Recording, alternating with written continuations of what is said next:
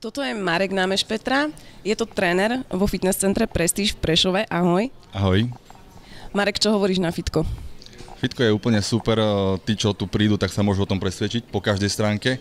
Jednak čo sa týka po stránke vybavenia a výberu strojov, po stránke kotúčov, činiek, závaží, a po stránke čistoty hygieny, aj po stránke prístupu ku zákazníkom a klientom. Myslím, že toto je top fitko asi nielen v Prešove, ale myslím, že jedno z top fitiek na Slovensku, tak by som povedal.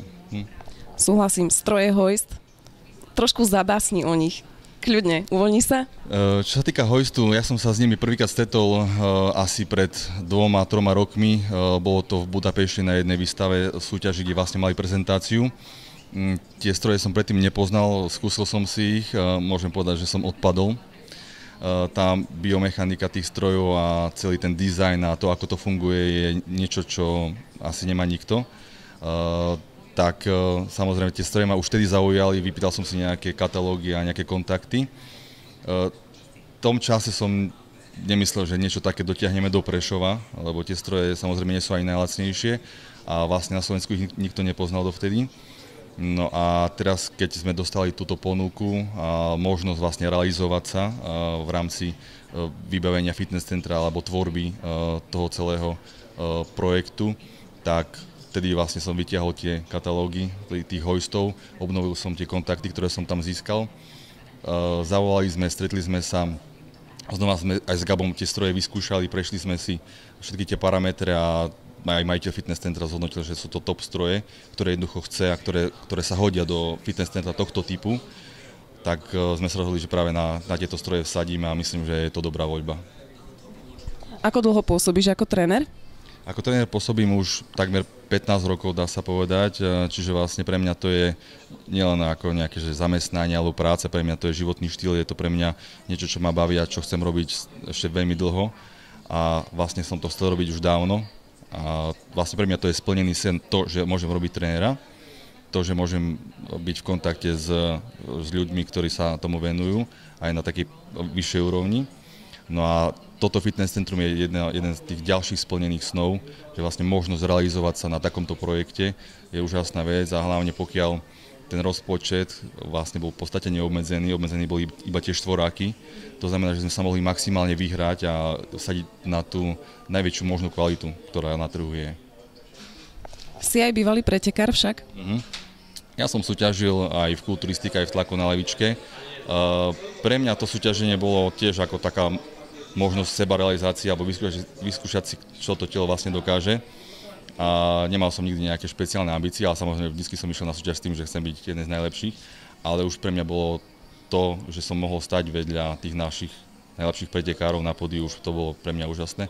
Takže pre mňa hovorím, a jak som, jak som povedal, nie je to len práca, je to životný štýl a je to niečo, čo chcem robiť strašne dlho. Pripravuješ sám nejakých pretekárov? Pripravoval si nejakých?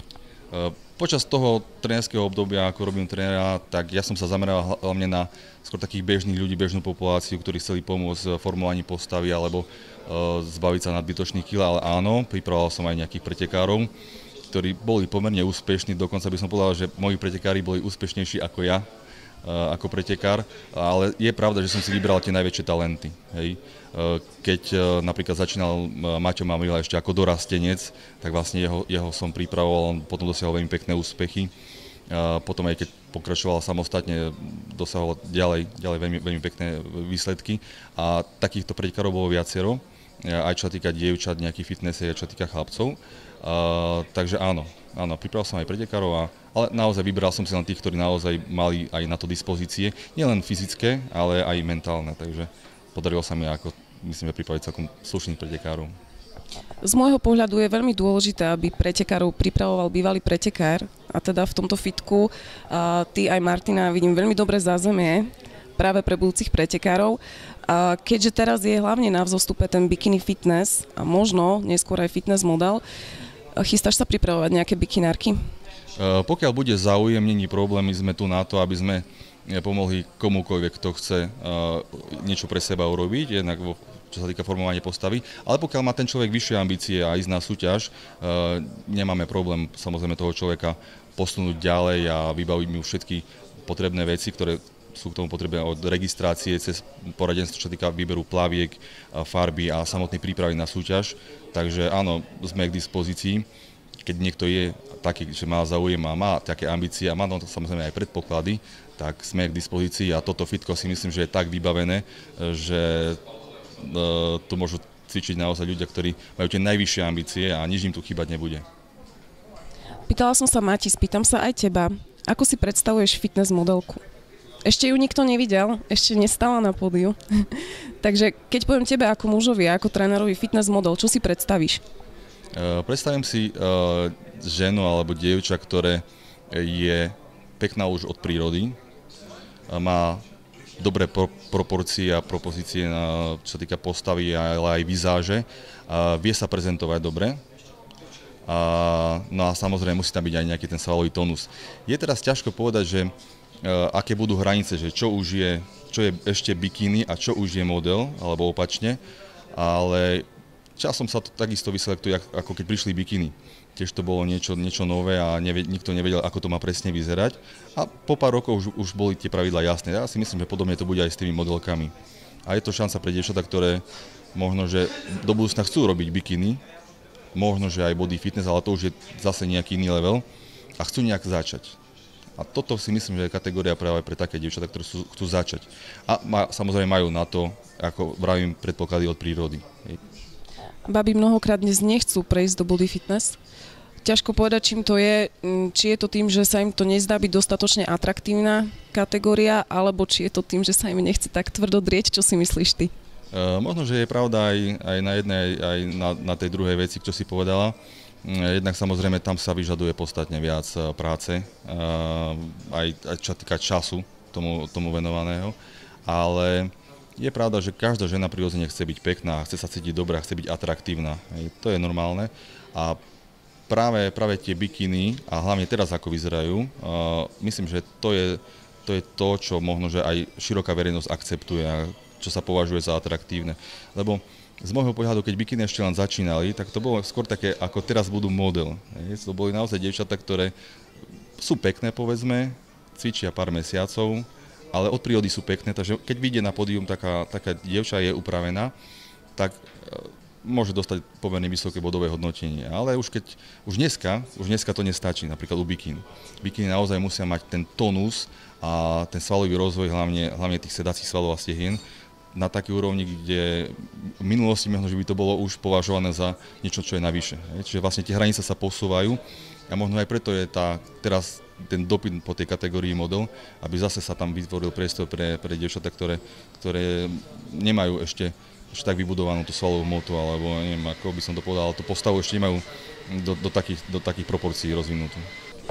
Minule som videla na Facebooku uh, také dva obrázky. Na jednom bola uh, modelka z prehliadky Victoria's Secret a na tom druhom bol napis Victoria's Secret is in the gym.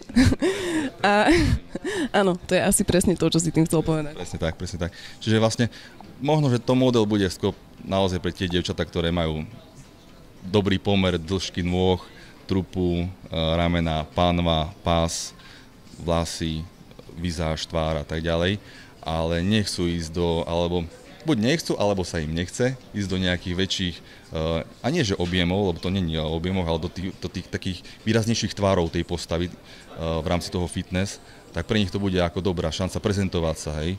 Hlavne tie, ktoré majú ambíciu prezentovať sa a ukázať sa, že áno, aha, pozrite, som pekná, hej, taká som sa narodila, troška si idem na spinning a idem na pódium, hej, tak toto považujem za, za to model, hej.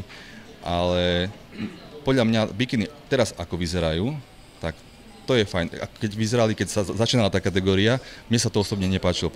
Prečo som to, som to považoval za také dievčatá, ktoré sú od prírody pekné, ale nechce sa im veľmi cvičiť, alebo jednoducho nemajú ešte toľko cvičené, ale chcú sa už rýchlo, rýchlo, rýchlo prezentovať, chcú ísť na pódium, chcú byť v časopise, ale ešte nemajú odcvičené, nemajú, nemajú, nemajú na to, to tú, tú, tú, tú drinu, ktoré napríklad museli prejsť tie body fitnessky. Hej. Čiže v podstate aj ja body fitnessiek na nich tak pozeral, že čo tu tie devčatá chcú, na čo to je dobré, ale zase sa to potom vykryštalizovalo. Už dneska tie bikiny vyzerajú úplne inač.